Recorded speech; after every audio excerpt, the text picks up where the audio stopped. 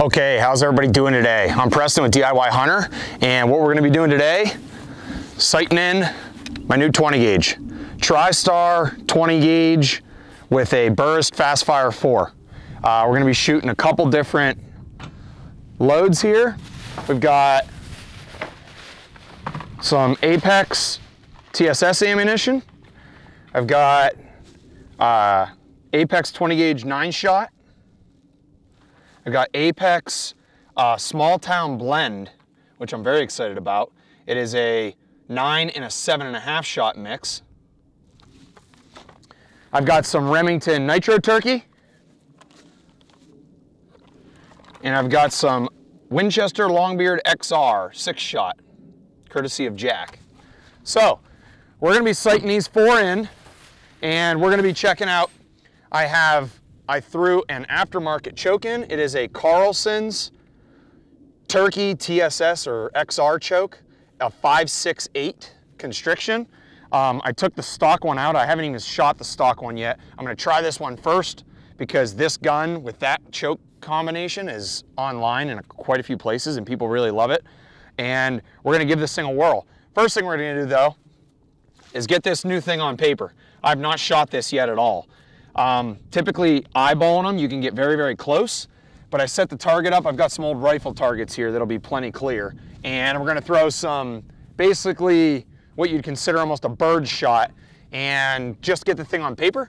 Then we'll do some sight-in videos and we're gonna show you with the light up turkey, the light up turkey targets, exactly what we're getting pattern-wise and kind of make a decision on what round I'm gonna be running through this. Now, unfortunately, I only have one box of each of the Apexes, so hopefully I figure it out in one shell because I would prefer to have, or they're both really good, and then I have all 10 rounds and I can use either or for the season. So we're gonna find out. So let's get to shooting, see what we come up with. Okay, first round we're running through here is a Nitro Turkey. Nitro Turkey, I don't know, five shot. We're just trying to get this thing on paper. The speed bead, I just did the up and down and it looks pretty close. So let's find out what happens. Never shot a 20 gauge with turkey rounds before, so actually I think it's a I think it's a little high. We'll see here in one second. Oh, don't forget this.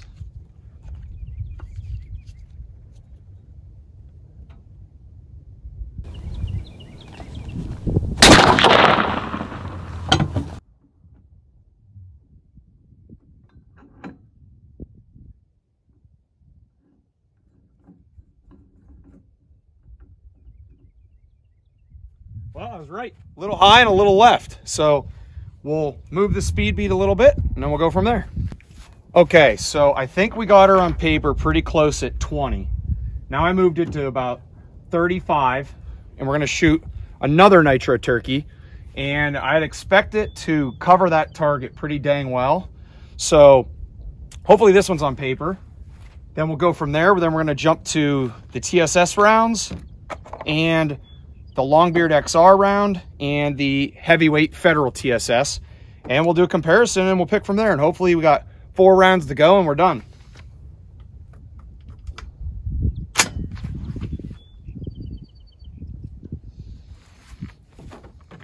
All right, she's live.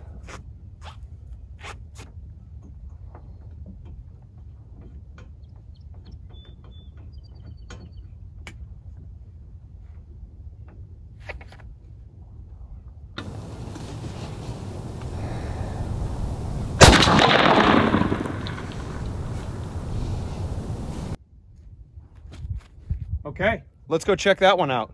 But it doesn't look too bad for 35 with a Nitro Turkey number five. Now it's shooting a little bit high and I stupidly put my, my sun guard on and left the Allen wrench. So I can't move it up and down. So what I'm gonna do is just hold a hair low to sight these in and I'll come back out and I'll put one round through it and we should be good to go. But for purposes of this, this might be just a hair high for me guessing. So unfortunately, but it actually still looks pretty good for aiming dead on. So let's go check it out. So I just caught to myself, I got the camcorder running, filming the downrange target. And uh, I figured out I'm screaming. I forgot I have headphones in. So, whoa, look at that. An SD card. Let's see if that baby still works. Probably not. I'm sure it's mine. So here's the nitro turkey. Okay, so let's check this out. As you can see, I aimed right in the middle. This really isn't that bad. I mean, it is hitting a little high, but that's only gonna take me a couple clicks on that red dot to move down. But this is only a five shot shell. That's not too bad for 30 yards for a five shot out of a low brass load. I mean, you can see definitely the majority is a hair high. So on the next one, I'm just gonna hold a hair low, but I would say we're on paper. So we're gonna move this to 40 and let's put the other rounds through and let's see what we come up with. Hopefully it's one round each and we are done. Let's find out. My gut feeling is the Apex, the uh, seven and a half and nine is to be the one I'm to run. So let's find out. I think they're to, both Apexes are to beat that federal load though. My gut feeling with us testing in the past. We'll see. Okay guys, here we go. First round, Longbeard XR, number sixes, three inch, number six. Let's see what these puppies do.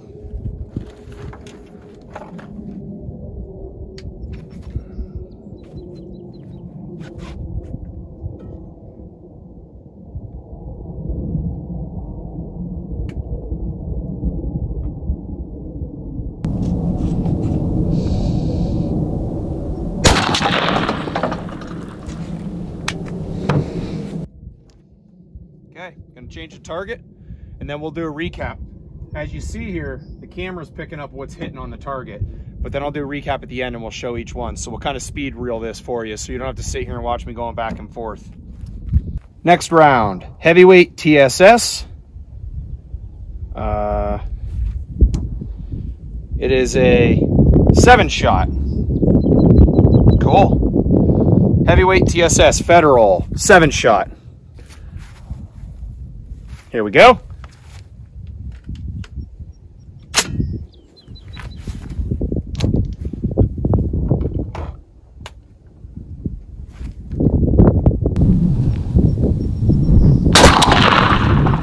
Oh, much improved over the uh, much improved over the Longbeard XR, the six six shot lead. Okay, we'll keep this going. Okay, small town hunting blend, seven and a half and nine shot mix by Apex.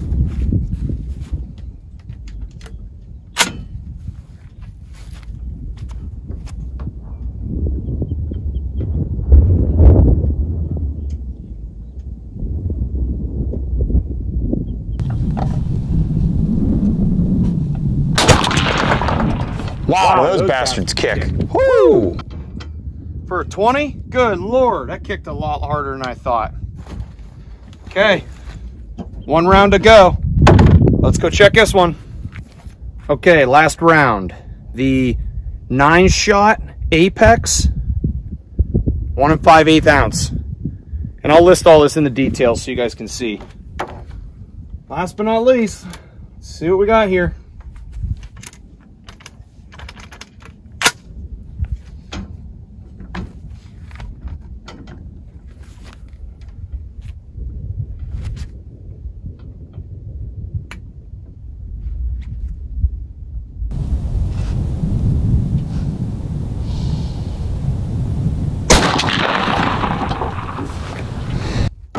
Okay, I think we shot every round. So that wraps up our shooting.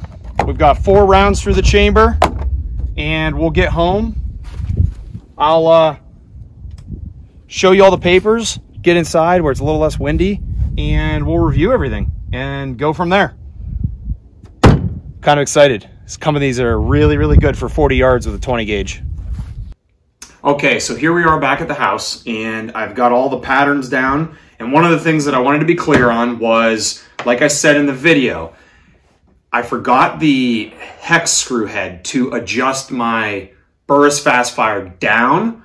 So what I'm looking for on these patterns, because I'm going to go back out and I'll finish it, but it's really, really close. I'm just looking for the density, and I hope you guys can understand and translate, even if it's not in the head of the turkey, at least it's it's only three inches high, four inches, so it doesn't matter. But I'm looking purely at density. Um, I have the left and right down. I just need to go down and bump it out a little. But that being said, let's get to the targets. And first one, the Longbeard XR number sixes at 40 yards. And we've shot these basically our entire lives to the last like two years when we started running the TSS. So the number sixes, I actually shot this twice because out of a 20 gauge at 40 yards, I wasn't super impressed, but I still had, this isn't even high. I aimed low, so this would look good for you. I have 1, 2, 3, 4, 5, 6, 7, 8, 9, 10, 11, 12.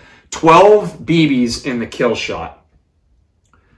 That is with a .568 choke, Longbeard XR. I know a lot of guys are running 5.50s in the 20 gauge.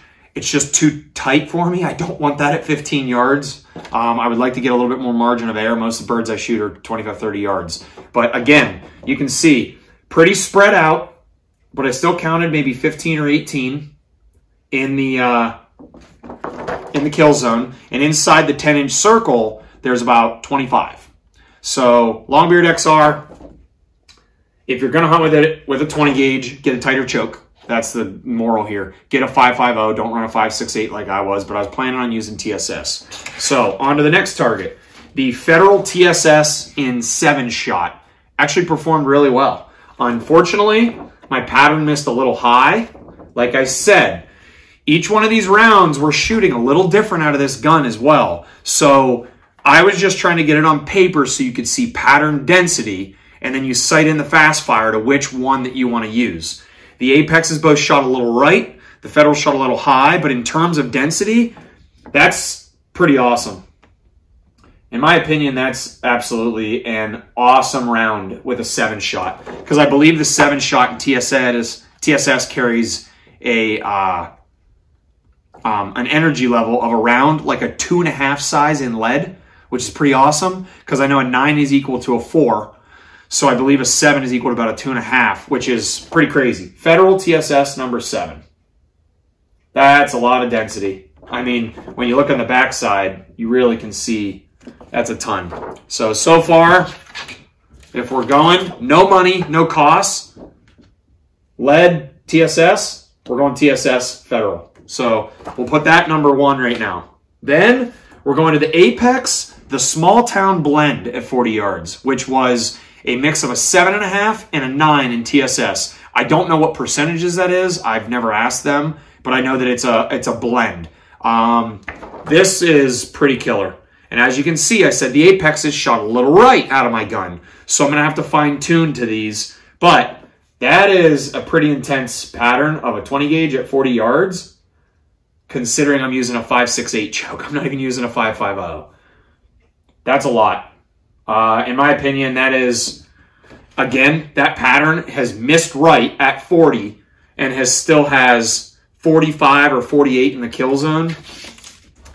So here's the Federal Sevens and the Small Town Blend.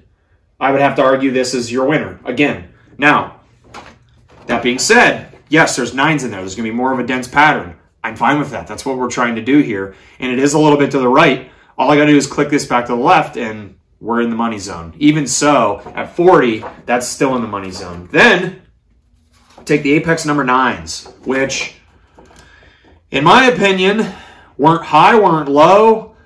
This was, I mean, this is pretty much, it's, it's three inches high. However, that's pretty killer.